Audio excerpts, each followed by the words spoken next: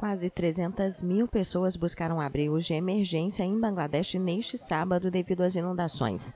As cheias são o resultado de intensas chuvas de monções e já custaram mais de 40 vidas no país desde o início da semana.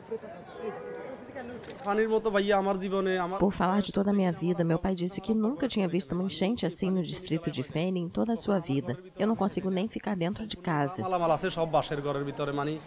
As estradas e linhas ferroviárias foram danificadas entre a capital Dhaka e a cidade portuária de Chittagong, complicando o acesso aos distritos gravemente inundados e perturbando a atividade comercial. Não há água, não há comida, não há alojamento, tudo está debaixo d'água. As pessoas estão com problemas aqui.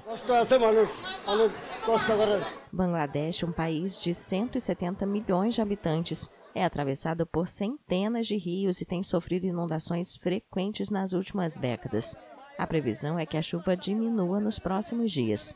Todos os anos, as monções causam danos significativos, mas as alterações afetam os padrões climáticos e aumentam o número de fenômenos meteorológicos extremos.